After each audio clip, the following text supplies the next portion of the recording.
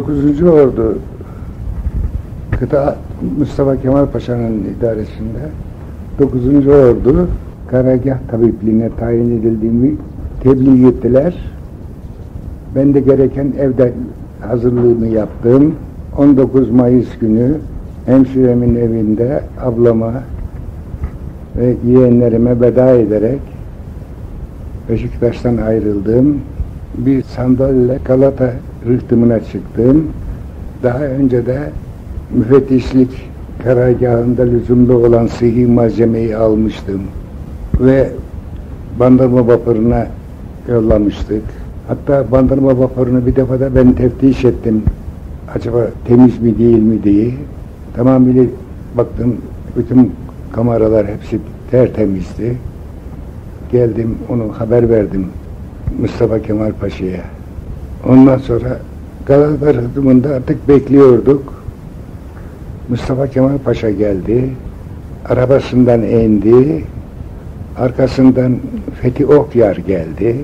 Onun arkasından Rauf Ar Orbay geldi. Ayakta ipice çeyrek saat, yarım saat kadar konuştular. Ondan sonra Mustafa Kemal Paşa bir motorlu sandala bindi. İpice uzakta, rıhtımdan uzakta demirlemiş olan bandırma vapuruna hareket etti. Arkasından biz de bir sandalla vapura hareket ettik. Vapura çıktık. İHŞ maddelerimizi rıhtımdaki büyük bakkaliyelerden tamamıyla almıştık. Artık karıyla irtibatımız kesilmişti. Vapurumuz hareket etti. Fakat bütün içimizde bir acı vardı, bir sızı vardı. O da üç gün evvel haberini aldığımız İzmir'in Yunanlılar tarafından işgali keyfiyeti. Biz bu acıyı kalbimizde taşıyorduk. Vapurumuz hareket etti. Vapurumuz Kız Kulesi önlerine vardı. Ve vapur orada durakladı. Saat öğleden sonra üç, dört sıralarındaydı. Orada bir saat kadar bekledik. Niçin beklediğimizi bilmiyorduk. Bazıları dediler ki, bazı arkadaşlar, vapuru İngilizler teftiş ediyormuş falan dediler. Neyse bir saat sonra vapurumuz oradan hareket etti. Boğaz'a doğru yol almaya başladık. İskeleler tekü tenhaydı. Beşiktaş iskelesinde, Üsküdar iskelesinde daha diğer efendim Beylerbeyi efendim bütün iskelelerde bir fert, bir canlı mahluk görülmüyordu. Sanki İstanbul bir şey içerisindeydi, keder içindeydi. Nihayet Yeniköy'den geçerken yukarıdaki yerlerden birisinden bir mendil sallandı, beyaz mendil bize uğur, bizi uğurladı bir şart. O da yine Mustafa Kemal'i tanıyanlardan bir zat olduğu anlaşıldı. Oradan hareketimiz devam etti derken Mustafa Kemal Paşa kamerasından çıktı. Biraz güvertede oturalım dedi. Güvertede çıktık hepimiz. Zaten mevcudumuz 11-12 kişiydik. Erkan Reisi falan dahil ol, Münevi Hüsrev Gerede falan dahil olmamız. Hayati, Muzaffer Bey. Vapurumuz yol alıyordu artık Karadeniz'e doğru. Fakat efendim bir de hafif dalgalar başladı. Hafif dalgalarla karşılaştık. Hava serinledi. Paşamız yok artık şeye inelim dedi. Kameramıza inelim dedi. Biz de çekildik kameramıza. Karargah kumandanımız Mustafa Efendi vapur kaptanının yanına gitmiş. Kaptanın Kayserli olduğunu haber alınca bana haber yolladı. Doktor gel hemşerini buldum burada diye. Ben de çıktım kaptanın yanına. Kaptanın adını bugün hatırlayamıyorum. Fakat Kayserliymiş kaptan. 20 seneden beri bu denizde böyle kaptanlık edermiş. Acaba dedim bu dalgalar fırtına asacak mı acaba? Daha ileri gittikçe dedim. Sordum. Bunlar efendim geçmiş bir fırtınanın ölü dalgaları. Artık bundan sonra fırtına olmaz diye cevap verdi. Ona da memnun oldum. Bir müddet gittik. Ondan sonra ben de kameraya çekildim. Yanında da deniz tutanlara karşı ilaç taşıyordum. Kimi deniz tutarsa arkadaşlardan ona o ilaçlarını veriyordum. Gece yarısı İnebolu'ya geldik.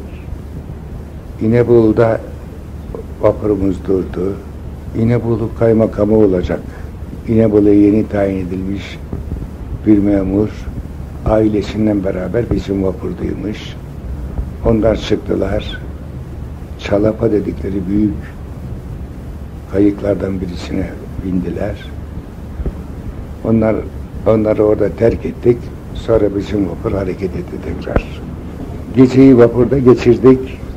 Tam öğle üzeri Sinop'a vardık. Vapurumuz Sinop'ta durdu. Sinop memurları, yüksek memurları, sunuk mutasarrıfı vesaire. Zevat geldiler. Paşamızı karşıladılar. Paşamızla beraber Siyer reisimiz İbrahim Talibi, sonra efendim muavini Refik, Refik Bey, sonra yaverler falan hepsi Sina karaya çıktılar. Biz birkaç arkadaş vapurda kaldık güvertede. Derken Sinop'tan iki üç delikanlı geldi yanımıza. Selamlaştık. Aman bey kardeşim bize silah veriniz dediler bu delikanlılar. Bu gece Bafra Fener'in bekçisini Rum çeteleri öldürdüler. Köylerden dışarı çıkamıyor hiçbir Türkler. Rum çeteleri buraları kasıp kavuruyor.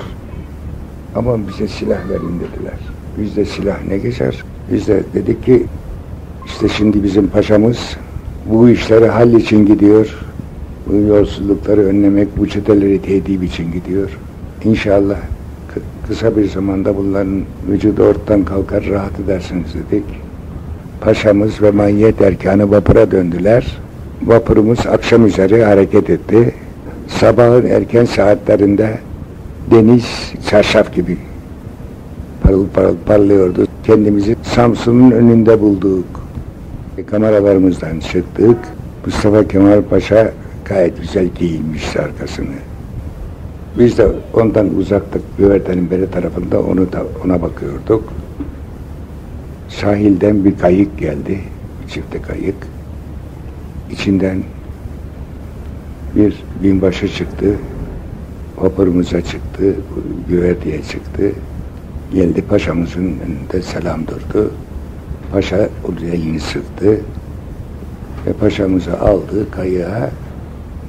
Gene mayetinden bir iki şube müdürlerimizle beraber Samsun iskelesine hareket ettiler.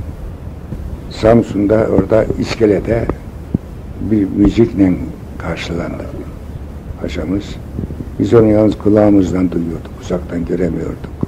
Aradan bir zaman geçti, sonra bizim için de bir takım kayıklar geldi. Eşyalarımızı doldurduk, biz de çıktık. Samsun'un iki iskelesi vardı. Bu söylediğim paşanın çıktığı iskele Garp'taki iskeledir. İsmini hatırlayamıyorum. Biz de çıktık Samsun'a. Samsun caddeleri hınca hınca adım atacak yer yok. Herkes omuz omuza gidiyorlar. Bir kısmı tabii önden paşamızı takip ettiler, gittiler. Biz arkadayız artık.